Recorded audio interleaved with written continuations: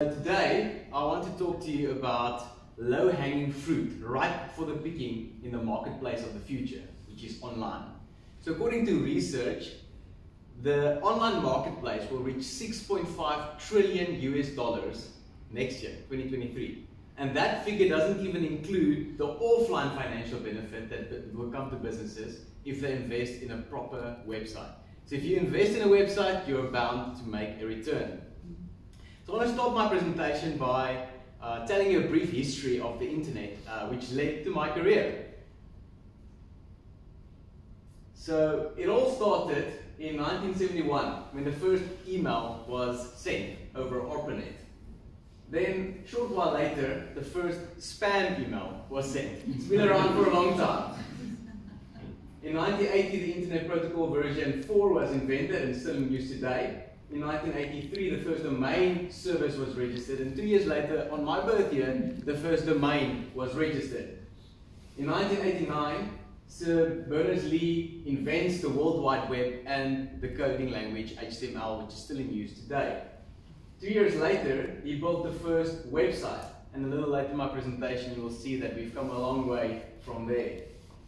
In 1995, the first ever item was sold on eBay. It was a laser pointer and it didn't even work. In 1998, Larry Page founded Google. I still think he's got the coolest surname.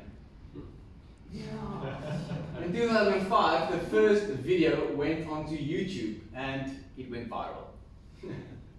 In 2010, the first Bitcoin transaction took place. It was for two pizzas, and in today's Bitcoin value, it was 336 million US dollars for those two pizzas. And on to today, where mobile web browsing overtakes desktop. so, since the inception of the internet, the landscape of marketing has changed completely.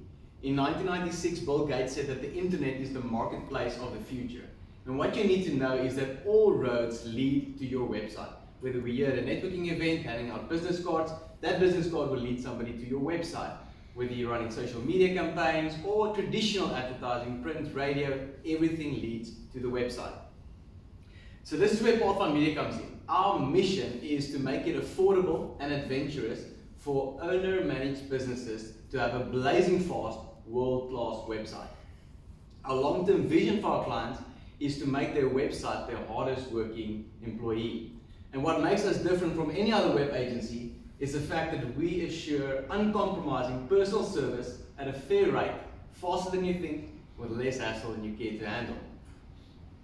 So some ideal referrals for us is um, as vast as the classifications in BNI, but I'll just mention the top categories, the financial industry, building industrial, health and medical, business services, and NPOs.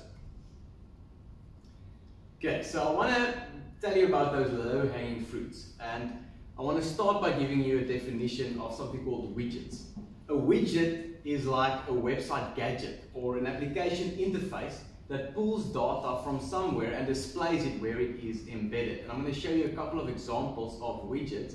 And the nice thing about a widget is we don't have to rebuild an entire website in order to add a widget. So I'm going to show you some examples of what we can add to existing websites and these will be great referrals for us. Okay, first up is a um, social media feed. All of these websites I'm going to show you is websites we've built with my team, my team as well. Okay, so this is um, Nokubanga Mbanga, she's a life coach, and we've added a Instagram feed on her website. So over here you can see Instagram feed, over here you can see her followers, you can follow from here, click into it, interact with the social media straight from her website. Whenever she makes a new post, it appears on her website. Next example is a WhatsApp icon. So this WhatsApp icon wasn't added to all pages of Kleuter Akademie, it was only added to their Partijgepret um, page. Because this is where they wanted, they are needing it. So that's the WhatsApp icon over there, and you can start a chat with them um, to engage about parties. Next example is a video widget. So this is Gearbox Europlacer. They're a tech company in Nairobi, Kenya. And we've added a video gallery for them um, because they post a lot of content. So this is a playlist from YouTube. Whenever they post a new video on YouTube, it automatically displays here on their website. Next example is FBC Structural Engineering. We built a one-page website for them, but within this one-page website is a fully fledged portfolio of different projects that they have created based on different categories. And you can click into these different projects, see more photos, or read more about that project. Again, a widget. Then reviews widgets from Google, Facebook, or in the tourism industry, TripAdvisor, we can embed these reviews on your website and it shows the users or the visitors of your website that you're a real business with public reviews. You didn't just copy and paste this or made these reviews up. Um, so it's a really powerful sales tool. The next one isn't a widget per se, but it is forms that you can add to an existing website. So this is Stellenbosch Arterial Conference Center, and we can build pretty much any kind of form. In this case, we built a booking form where a user can type in how many people will be attending the event, how many days, and then there's conditional logic that displays calendar with a booking. You can select the type of things that you're going to take, and then displays prices. Um, and then this can get sent to the user and the administrator on PDF. Okay. So those are all examples of widgets and embeds.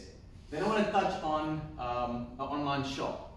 The nice thing about an online shop is we don't have to start from scratch rebuilding an e-commerce website. We can again use an e-commerce widget to add it to an existing website. So I'm going to show you an example now of one we did just last week. So this is FXIT.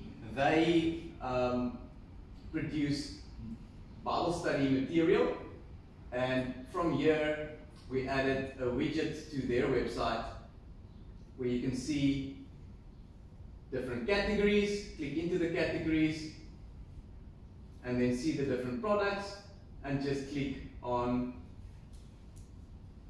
buying now, and all of that will be seamless for the user. This is digital products, but of course, physical products is just as simple. We can integrate with courier companies, we can integrate with an ERP system or accounting system, so everything will be nice and simple for you. Then another low-hanging fruit I want to mention is Google Business. This is a really unutilized tool for a lot of businesses. It's a free listing. Think about the yellow pages, but the yellow pages on Google. So I'm going to show an example that we did for um, coastal painting for Annie. Um, so if you search for coastal painting, you will see the Google business listing on the right hand side over here. And um, what you can do is optimize this listing. So you can add a cover photo, you can add a logo, add the reviews feature, um, you can add more information, all their services, and even posts, just like you would with social media. So it really enhances your search engine optimization. Um, so it is very nice to optimize. And then I want to conclude with the virtual business cards that I spoke about in my presentation earlier. And um, we use business cards all the time. And we've got a little surprise for all the members of the Mountain View chapter. We've actually gone ahead and created a virtual business card for each one of you um, with a QR code. Um, so in a minute, we're going to hand out the QR code stickers that you can just attach to one of your business cards and you can carry that around. People can scan that and they can see your details. So I'm going to show you an example of that now to understand it. So this is an example of the sun. So let me just refresh it. This is what it looks like. It loads the little logo and then it shows her name. You can click to call from the phone, the little about, contact numbers, and this is the virtual, the V-card download over here um, that just gets added to your phone. So you don't have to retype all the information. Okay, so...